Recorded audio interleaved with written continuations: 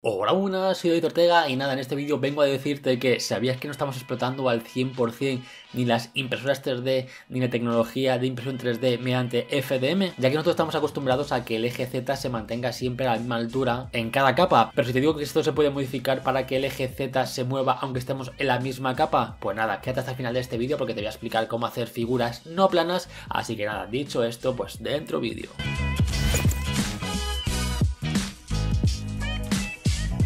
Y antes de comenzar ya sabéis que un like, un comentario os agradece muchísimo, suscribiros si no estáis, activa la campanita y recordad que aquí abajo os dejo todas mis redes sociales para que me podáis seguir en ellas. Además seguidme en Instagram que es arbadorku y uniros a mi grupo público de Telegram que como digo todo en la descripción de este vídeo además. Y además ya sabéis que todos los enlaces que voy a digamos a mostrar en este vídeo pues también están en la descripción del vídeo. Tengo que decir que esto es una tecnología que lleva muchos años desarrollándose por empresas y particulares y que a día de hoy hacer una figura no plana pues es bastante complicada debido a los diferentes software que tenemos que instalar y también a los diferentes comandos que tenemos que utilizar, pues ya sea en Linux o en Windows. Pero como vi otros canales de habla inglesa hablar sobre esto y también pues fue un vídeo que me recomendó mi amigo Ludos, pues nada, simplemente me puse a investigar ya que yo también quería probar este tipo de tecnología y así poder también hacer mis propias pruebas a imprimir en piezas 3D en no plano. Como podemos comprobar en Google hay mucha información en inglés y en la web de Day hay una entrada de 2016 donde explica bastante bien este tipo de impresión. También vi en el canal de CNC Kitchen eh, que hablaba sobre esto, así que como digo, pues me puse a investigar y a trabajar para poder hacer mis propias pruebas. Así que me puse a investigar por GitHub y encontré un repositorio llamado Curvy Slicer y fue el que decidí aprobar en mi sistema operativo Windows. Y nada, para preparar los STL pues hay que instalar una serie de programas, así que sin entrar mucho en detalle te voy a decir cuáles son y cómo se instalan y sobre todo en qué orden para que tú también puedas hacer si quieres pues estas pruebas de impresión en no plano. Que también te digo que como ya sabes pues te dejo también los enlaces de la descripción del vídeo para que tú también puedas descargarlo. Para este vídeo utilicé una máquina virtual de Windows ya que pues en mi ordenador tenía ya todo instalado y configurado y, funcionando sobre todo y no quería digamos pues eh, desinstalar todo para que luego no funcionara así que nada me puse un, Windows 10 eh, limpio, una máquina virtual y, em, empecé pues con el proceso de instalación de software. Pues nada, aquí tenemos la máquina virtual que como estáis viendo pues corre eh, en Windows 10. Y nada, vamos a ir al software que, hay que instalar. Que ya tengo por aquí pues una carpeta preparada. Y este es, digamos, pues el software con su, su, orden. Así que nada, el primer paso es instalar el Visual Studio Code que como digo pues todos los enlaces están en la descripción del vídeo. Este software es realmente un software de, edición de código, ya sea de PHP, HTML, todos los lenguajes de C++, que como estoy viendo pues simplemente es siguiente, siguiente. Así que nada, vamos a esperar a que termine y continuamos instalando software. Perfecto, pues ya lo tenemos aquí instalado, no voy a ponerle para que se ejecute.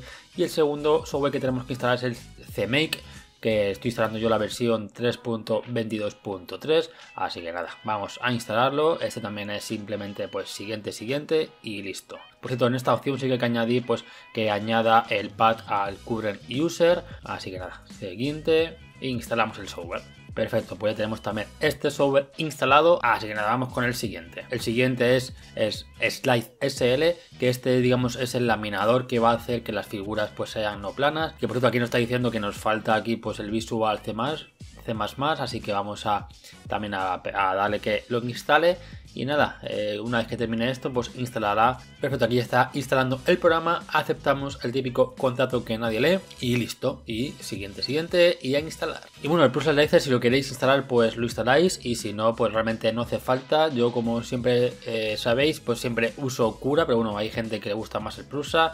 Y la página también recomienda instalar Prusa. Mm, yo lo a instalar, pero realmente eh, no hace falta. Vale, ya por último pues instalamos estas librerías también de C++, así que nada, con esto ya tendríamos pues todo el software instalado. Perfecto, ya estoy viendo que ya está todo instalado. También es importante que vayamos a la configuración avanzada del sistema, tendremos que ir a las variables de entorno, seleccionaríamos la, la la variable path y aquí como estáis viendo pues nos falta agregar la ruta de C Windows System 32 ya que si no luego el, los comandos algunos comandos nos van a dar error así que nada nos vamos a System 32 copiamos esta dirección y la agregamos aquí en el path de las variables de entorno para que como digo eh, no nos fallen luego los comandos. Así que con esto eh, tendríamos ya otra parte terminada y tendremos que reiniciar el equipo. Una vez instalado todo tenemos que ir a la carpeta eh, resource dentro de, lo que hemos descargado del repositorio de GitHub de Curvy Slicer, entramos en Curvy, copiamos la carpeta de Curvy y nos vamos al app data, nos vamos a IceSL, luego nos vamos a la carpeta de printers, FFF y aquí pegamos esta carpeta que hemos copiado como digo pues del repositorio que nos hemos descargado eh, de de GitHub. Así que nada, con esto ya tendríamos todo listo. Así que ahora simplemente tendremos que abrir un CMD. Nos vamos a la ruta donde tenemos eh, lo que nos hemos descargado de GitHub y ejecutamos el siguiente comando. Y este es un archivo eh, que es un archivo STL que está dentro de la carpeta de models que ya viene por defecto en, lo descargado. Que ya por defecto. Todo depende de la potencia que tenga nuestro ordenador. Y bueno, ya una vez que termine, pues tendremos nuestro archivo .gcode en formato de no plano. Perfecto, y como estáis viendo, pues el último mensaje que recibimos es que el G-code pues se ha generado en la misma ruta donde teníamos el punto STL, así que nada, vamos con el siguiente paso. Por cierto, una vez que se ha generado el G-code con, con este método, pues no tiene el archivo G-code no tiene un encabezado, por lo que tendremos que coger uno de nuestra impresora. Entonces vamos a configurar nuestra Artillery Genius, por ejemplo, con, con la boquilla 04 y vamos a simplemente, pues vamos a coger cualquier archivo que queramos. No hace falta que sea el propio STL, podemos coger cualquiera, pero bueno, yo voy a coger el mismo con el que hemos hecho este método, así que cogemos el win.stl, simplemente le damos a segmentación, guardamos en disco, lo voy a guardar pues eh, directamente en la misma ruta donde tenemos el que nos ha generado con el, con el software y este lo vamos a diferenciar porque pone AG de Artillery Genius, así que nada, le damos a guardar, perfecto y lo que, lo que tenemos que hacer es abrir pues el, archivo G-code que nos ha generado el programa, que es este, lo vamos a abrir con un editor de texto, yo en mi caso pues lo voy a abrir con el Sublime Text, que es un software que a mí pues me gusta bastante para el tema de editar código, así que nada, lo abrimos, aquí lo tenemos. Y también vamos a abrir el archivo que nos ha generado pues el software cura que como estoy viendo pues es este que pone AG así que nada también lo abrimos con el Sublime Text. Vamos a seleccionar el programa. Lo buscamos y ya tendríamos aquí los dos. Vamos a separarlos vamos a poner este por aquí y este por aquí. Y como estáis viendo pues este archivo que es el que nos genera pues el, método del, del Z no plano pues no tiene una parte de encabezado cosa que aquí este que nos ha generado pues cura sí que tiene pues la parte del encabezado con los parámetros de nuestra impresora. Así que de este archivo que nos ha generado cura pues vamos a copiar hasta donde empieza ya pues el X lo que sea. Así que todo lo que está por encima lo copiamos nos vamos al archivo del, programita y lo pegamos encima. Así que nada, botón derecho, pegar. Y ahora este G-code, que es el que hemos generado a través del Curvy Slicer, pues ya estaría preparado para ser impreso con nuestra impresora 3D. Así que nada, simplemente ya lo hemos guardado, lo metemos a tarjeta SD y le damos a imprimir.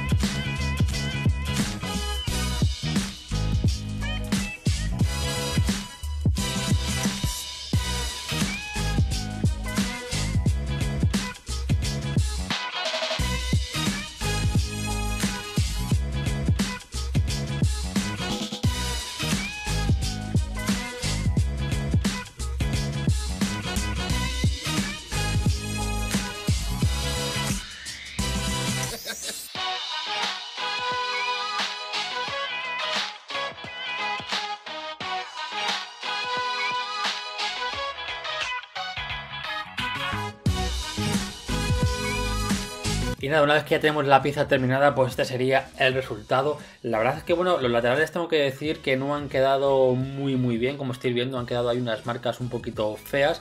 Pero lo que sí que tengo que decir es que la parte superior, la parte de arriba, pues es impresionante eh, cómo queda de, de, liso. Y bueno, pros y contras que podemos sacar de este método tecnología, pues como queréis llamarlo, pues que, bueno, pues bueno, como habéis podido comprobar, pues es que hay que instalar miles de programas, bueno, miles no, pero hay que, hay que instalar muchos programas eh, que te pueden dar fallo, hay que usar comandos para hacer pues piezas no planas.